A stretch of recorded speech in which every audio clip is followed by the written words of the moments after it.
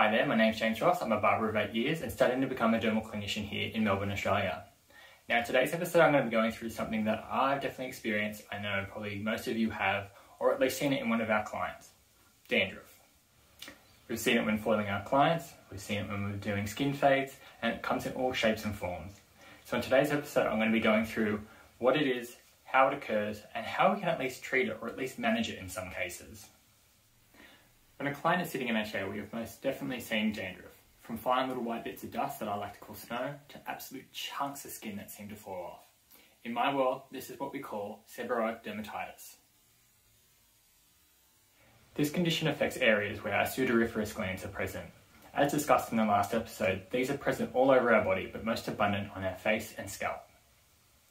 Dandruff falls under the category of seborrheic dermatitis, but is only confined to the areas of the scalp and sometimes on the eyebrows and facial hair. So what is seborrheic dermatitis and how does it occur?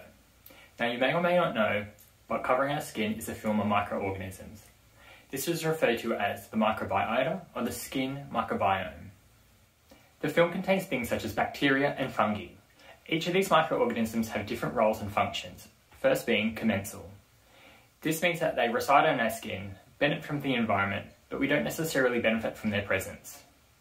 On the other hand, we have symbionts, which have a mutualistic benefit to us as they assist in preventing pathogenic microorganisms from colonizing by defending themselves via secreting substances, competing for nutrients, and also stimulating our skin's immune response, which is where seborrheic dermatitis comes into play. A specific yeast called Malassezia is present on our skin. Malassezia has several species underneath it, and the one specific to dandruff is Malassezia globosa. This yeast is lipophilic, meaning it loves to consume sebum, which is present on our hair and skin. Once this microorganism has done so, it leaves a byproduct called oleic acid. This particular acid has the potential to cause irritancy on the skin. This signals the body's inflammatory immune response and in doing so, induces an influx of keratinocyte differentiation to help remove that oleic acid. In essence, the body is producing more skin cells to help shed those top layers of the stratum corneum and help rid the byproduct that is produced by Malassezia globosa. Alongside this, other factors come into play, such things as poor hygiene, resulting in a buildup of sebum and therefore a playground for Malassezia, dry slash sensitive skin, influenced by things as medication, humidity, diet and stress, and other health conditions that relate to the skin of the face and the scalp. Seborrheic dermatitis can be seen in infants all the way through to adulthood. In infants, we call this cradle cap, and is a subtype of infantile seborrheic dermatitis. This is a chronic, non-inflammatory condition and is self-limiting, meaning it usually resolves on its own.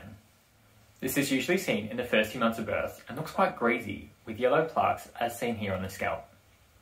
Unfortunately, this can be quite embarrassing for parents due to its unsightliness and can sometimes even have an odour. This condition, though, is asymptomatic, meaning that there's no real itch or pain to the infant and doesn't affect their ability to feed or sleep. Why this condition occurs isn't quite known.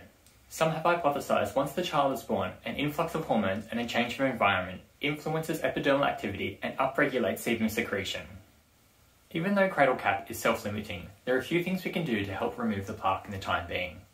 First, bathe the infant as normal and use an emollient such as sorbolene cream, mineral or baby oil to help soften the plaque and remove with a soft brush or comb. If the condition progresses beyond measures or for a prolonged amount of time, advise your client to see their family GP for advice, which may involve medicated topicals. Moving on to adulthood, we know that sebum production amps up around puberty and adolescence. Specific androgens or sex hormones are activated, and specifically that testosterone.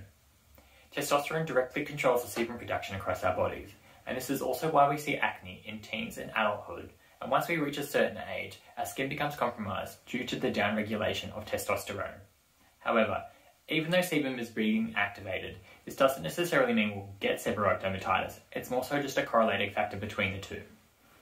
When this condition becomes adverse, we will definitely see an exacerbated immune response, with the scalp becoming visibly irritated, red, and itchy due to the buildup of sebum and keratinocytes, kind of like resembling that of cradle cap, and various other forms of dermatitis. Yellow plaques begin to form, occluding the area, which gives microorganisms a place to thrive. How can we alleviate this cycle and help bring our clients back to a sense of control or normality? Now remember, there are numerous factors that contribute to this condition, and some things we just cannot advise on, such as diet or other medical conditions. However, as hairdressers and barbers, we can guide them in a way of giving back control, such as avoiding things such as hot showers, which dry out the skin, air conditioners, which dry out the air, and also the use of shampoos and treatments and how often they should be using these. You'd be quite surprised how often or how little some people shampoo. Do remember the approach that we take depends on things such as the age and severity of the condition. If your client is showing signs of chronic seborrheic dermatitis, a simple clarifying shampoo isn't going to help at all. Advise them to see their GP for treatment, which may involve things such as antifungal creams, anti-inflammatory medications, etc. In mild forms of dandruff, we may have specific anti-dandruff shampoos or treatments in the various lines we carry in our salons and barbershops. Do remember though that we need to sort out the underlying cause of this condition, and by doing so, we have to look out for ingredients such as zinc pyrithione, ketoconazole, ciclopirox, selenium sulfide, coal tar, and salicylic acid. These ingredients are proven to help treat oleic acid, as well as aid in the breakdown and removal of excessive keratinocyte buildup on the scalp. These ingredients can be found in over-the-counter products such as Head & Shoulders, Nizoral, and Sedol, at places such as the pharmacy. However, I'm sure many of you are aware that these products aren't necessarily nice for the hair, which is correct. We need to educate our clients that these products need to be applied and focused directly onto the scalp and not the ends of our hair. It may seem tedious to have possibly two shampoos going in the shower, but from personal experience, it's a lot easier to deal with it than have to deal with the discomfort it brings every single day. All in all, seborrheic dermatitis can be quite easy to deal with when treated appropriately.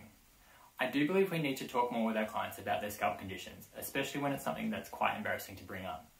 So gently talk to them about the situation, chat to them about their options, but never be disrespectful or forceful.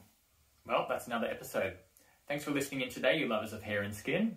Don't forget to comment if you have any questions and like and subscribe for the release of future episodes in the coming weeks.